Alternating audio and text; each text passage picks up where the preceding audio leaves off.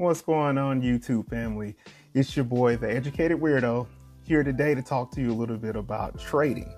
I'm actually in the middle of a trade right now. I'm in a bit of a drawdown, but uh, nothing to worry about as long as you have a strategy and you stick to it.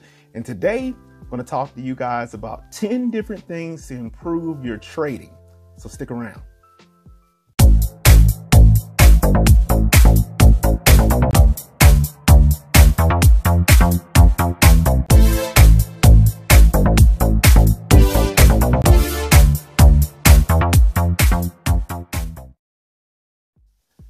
All right, you guys, let's get right into it. 10 different ways to improve your trading or to make you a better trader or a successful trader, however you want to word that. All right, let's get right into it. I'm not gonna not gonna delay or anything. Um, like I said, I'm in the middle of a trade right now, so I'm watching the charts as I talk to you guys. But I got a little time to kind of, I have nothing but time to actually talk to you guys. So let's get you acclimated with what's going on. Okay, first, first and foremost, you must understand what kind of trader you actually want to be at the end of the day. There's uh, different styles of trading. Uh, we'll go down through the uh, four primary styles of trading. Uh, first, you have position trading. Uh, position trading is when you actually hold a position for sometimes years, months or years, just depends on your end goal. And you're acquiring a certain um, asset or a certain position that you're holding in hopes that it goes up in value over time. And that's how you actually make your profit as a position trader. Uh, now you have swing trading is the next step down from that. Swing trading, uh, you normally you're going to be in a in a trade for uh, sometimes several days, several weeks, different things of that nature. You're basically taking advantage of the small um, fluctuations in price over a duration of time to gain a profit is what you're doing. Similar to position trading, it's just position trading, you're holding positions a lot longer, where swing trading, you're only holding for several weeks or several months. Position trading, you're holding sometimes for years, sometimes decades. Um, next, we're going to have intraday trading. In reference to intraday trading, basically what you have with that you're going to be holding a position uh, from open to close so so basically when the market opens you might take a position and before the trading day is up you would have that position closed whether you're uh, shorting something or if you're actually so selling or if you're actually buying um, in hopes that it goes up in price to make a profit that way. Either way you want to be in and out before that particular trading day is over. That's going to be your intraday trader. Okay. Now you have your scalper. Scalper is someone who's in and out of trades uh, pretty fast, man. I mean, they're in a trade for maybe a couple minutes. Um, I've been in a trade before for seconds, and you know it hit the goal that I needed, and I was out. But uh, you're, you're not going to be anything longer than at the max, maybe an hour. At the max, maybe an hour. But majority of the time, you're in and out within seconds, minutes, 10 minutes, 30 minutes at the max. Uh, like I said, if you're pushing it, maybe an hour. That's that's what scalpers do, man. Scalpers they take hundreds of trades a day because they're getting small movements and they're getting that dollar amount off the small whatever you know duration of uh, dollar amount they're trying to acquire. They get it off of small movements and they lock them in fast, man. They're in and out, they're in and out, they're in and out. So they, those guys, they don't care if the market's going down, the in and out. If it's going up, the in and out. They don't care. They're gonna make their money by any means necessary.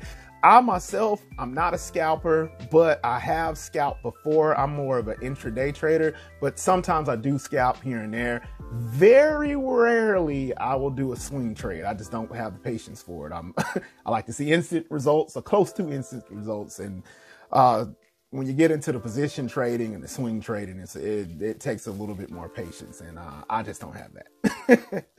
All right, now that was one. I know that was a bit long, but that was just number one. I was breaking it down for you guys. All right, so now let's jump right into um, number two on the top ten list here.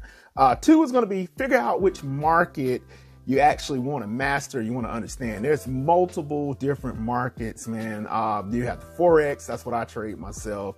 Uh, you have the commodities, you have futures, mini futures, micro futures. It, it's a plethora of different markets to choose from. They all function a little different, but uh, there's a couple things I'm going to get into on the list that even no matter which market you jump to, if you listen to me and master these 10 things, you can jump to any market and, and basically stay afloat. Now, I'm not gonna say you're gonna be a master at all of them because it takes time to master each one, but you'll be in a, you'll be in a ball game with the uh, fundamentals and everything that you need. All right. And speaking of fundamentals, I said the word. So let's jump right into number three. Number three, you must, it is imperative that you understand fundamental analysis.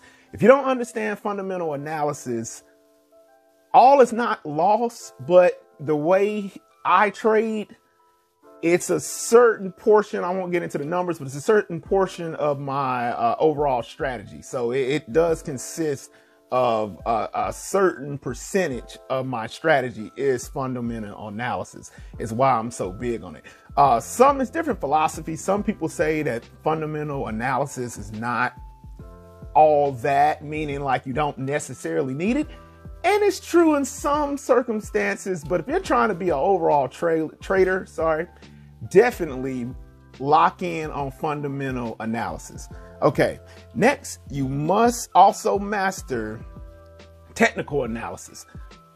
Just like fundamental analysis, some people feel technical analysis is not needed and they just strictly go off fundamental. Uh, Warren Buffett, uh, different people's like that. I think uh, Warren is more of a fundamentalist. He doesn't really care for technical. Not, I'm not sure if he knows anything about technical or not, but I know most of the books that I've read, he's primarily talking about fundamental. He doesn't really go in too much on the technical end. But nevertheless, master technical analysis, and I promise you it will not let you down. All right. And let's say this. Let's say uh, if we were designing a cake and fundamental was one layer of the cake. Well, technical would be the second layer of the cake. You was doing a two-tier cake. You gotta have one, can't have one without the other. You got a one layer cake, it's fine, but it's better when you got two layers. Let's, let's just put it like that. All right. So if three and four were layer a cake, one layer of cake, four being the top layer of the cake, three being the bottom layer of the cake. This next one, number five on the list, would be the icing on top of the cake. And what is a cake without icing? Well, no, some of you are like, uh, it's still a cake, but with icing, it's a better cake. All right. So number five is going to be indicators. Learn how to properly use indicators. There's plethora of indica- indicators out there. I won't go through them because there's a million of them.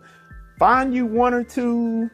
Um, I, I can't stand a trader that has like 10 indicators on his chart. That's there's so many lines and everything's going on, man. You get confused. You're looking at it, you're like, what in the world? You really don't need that many indicators, but hey, whatever floats your boat. If you want to use 10 indicators, that's fine. Me personally, I only use two to three. Sometimes I don't even use any. I, I just do what's known as negative trading.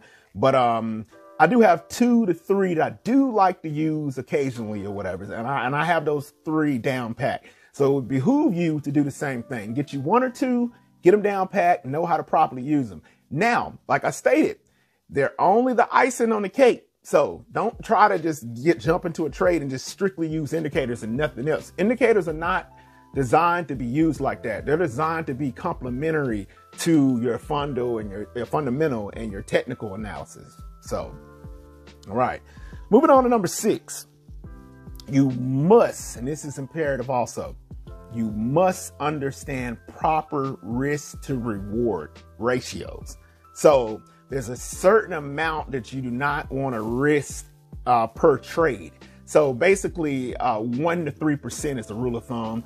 Uh, some people stretch it to five. Five percent is being a bit risky if you're trying to do something, you know, trying to grow your account real fast. You might try five, but definitely stick to one to three. Proper risk to reward ratio is a must. It's right up there with technical and fundamental and your indicators and all that. Definitely have to have that down packed. So, all right, number seven. This is a big one also. Boy, I, I know I said that on each one. hey, honestly, all these are big. So I'm gonna stop saying that. All of these are highly important. Master all of them. But um, you definitely want to understand this one. This is going to be, and this is one it took it took me a while to understand this, or not understand it, but to I'm not going to say master it because I don't like to use the word mastering anything because no one never truly masters anything. We get good at it. You can all there's always room to improve. So let's just say that. But you want to strive to, to be a master at all these actually though. But um trading psychology. Number seven, trading psychology. You must understand trading psychology. This makes the difference between a profitable trader and someone who spins his wheel in the mud or either goes in a hole every month, or every week, or every day. When you get into a trade, you have to know how to walk away. You have to know how to not hit that that button to jump out of the trade. You have to control your nerves, and that's when the psychology comes in it, it, would behoove you to read a lot of books on trading psychology. I've read, God, man, I, before I even started trading, I know, I know I read at least five to seven books on psychology alone, on trading psychology alone. So it would behoove you to probably follow that game plan, or at least read one. I know time is of the essence. A lot of people don't have time to sit around and just read books like I do. So you may want to read one or two to get you in that uh, groove of what's going on with the trading psychology. And I promise you that one right there will, will drastically improve your game. Okay, so once you do all seven of those and you kind of get you kind of acclimated with that, now you want to start getting into uh, you want to open up a demo account. And a demo account, most uh, brokers all have a demo account. I'm not going to say all, majority of them, but get you a demo account and just just practice, man. Practice. You're trading in the live, so you're trading in the live market, but you don't have a live account. A live account is actually where you furnish um, the money, and you're trading with live money. you make a bad move, you lose real money. Demo account is actually trading with the live market, but if you lose money, it's play play. It, it's not for real. Number nine is going to be top down analysis. So top-down analysis, just to make it quick, because I don't want this video to get too long, is when you get into a um, a trade and you're looking at different time frames on a trade. So you might be looking at the daily chart, four-hour chart, um, one-hour chart, whatever chart you're looking at.